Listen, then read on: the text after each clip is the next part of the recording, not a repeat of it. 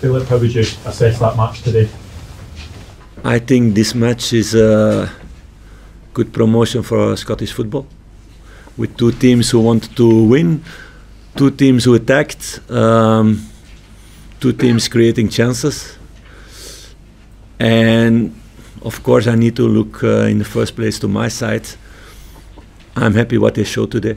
So they had more shots than Celtic today. Um, but we didn't take enough our moments, and Celtic was more efficient on the day. And yeah, the, those are games who are in balance. You can lose them, like today. It could have been a draw. We could have won the game. And the circumstances were not our side, on our side. So I'm really disappointed that we didn't get a penalty in the first half. Also, it's a situation that is very important in the game, and if you go one-one into the dressing room, it's another story. But despite that, uh, my team reacted uh, in the second half. Also after the world-class goal, the the 2-0, it's a very good goal, and you cannot do too many things about that. Uh, but we never stopped, and even with 10, we kept on going, and we created enough chances even with 10 to score the goal with other chances also. And we went uh, until the end, and everybody became nervous. So I see a team that's growing. I see a squad who's growing with more and more resilience, with more and more mentality, with more and more quality also on the ball. And at the end, you know, uh, if the circumstances don't fall on your side, you can lose points in these games. Is the biggest frustration just chances that weren't taken, not being clinical enough? Just thinking back to the first half, there was one with Cyril Dessers through on. No, that's not my biggest frustration because I see uh, Haaland and Mbappe also missing chances like that. So that's part of football.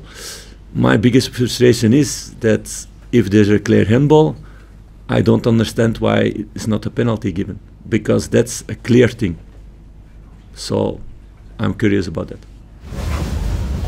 Does, does it feel like an opportunity lost today for the game there for you? do you think? No, it's it's not lost because lost is for me when you don't show the quality. If you don't do enough things to win points, then it's lost. This is part of football. Uh, the decision about the penalty is not part of football because that needs to be more clear. It's a clear handball. So that's another thing. But uh, I'm gonna focus on my team, and for me the most important thing is now on Tuesday to get the three points again, and to build and continue building what the team is doing now last couple of weeks, last couple of months. So I don't think two months ago they were ready with 10 players to show this, or even with 11 to show this in Celtic Park. So we will continue to work hard together with them. Did you seek an explanation from the referee at the end for the handball? No. it- it's been communicated to us that that Sima was offside before because it was a clear handball. Was that not communicated to you? that- No, it's first, there's no communication towards me. Secondly, if that was the communication, I, I'm not a referee, but I think the clear signal is then VAR, offside. That is the decision that everybody knows what happened. It was just. So there was no communication about that that moment. I don't believe that because otherwise the signal of the referee is not correct. So there's a mistake. Yeah. It's clear for everybody. So okay, it is what it is. I make also mistakes, but it's uh, it's an expensive one today. When, when you were speaking to the referee after the game, what were you what were you asking him about? I was asking why I get a yellow card What did he What did he say? say? because I reacted too hard. With the fourth official? No, I reacted even not with the fourth official. I re- reacted on a ball that was clearly ours, that was giving on the other side, and it was one small reaction, no swearing, nothing. Um, but okay, it was a day like that that the circumstances were not on our side. Let's say it like this, and it is what it is. What was the first From you what you've, from what you've seen today of your own team and Celtic, you still think you have the capabilities to go and win the, win the title? I'm not busy talking about that. I told you guys we're busy with a marathon. I'm busy with making the team better.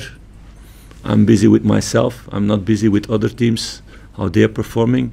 So I see a team what they did today. They could not do that two two months ago, or even four or five weeks ago. So we're gonna keep on building, and to make it better and better. Did you, did you have any complaints about the red card that Leon got? No, I think uh, I didn't see the images, but I think it's a it's a red card. If he is- was the last man, it's a red card. So nothing to discuss about that. Maybe we need to discuss then why no second yellow for a few uh, tackles from players who had yellow on the other side. But I don't want to go too much in that. Uh, I'm focused on my team. I want to make them better. The circumstances were not on our side.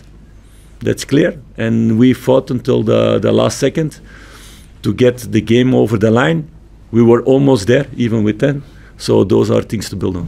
Do you think Bernardo should win a second yellow card for the foul? I'm not going to go in details about every action.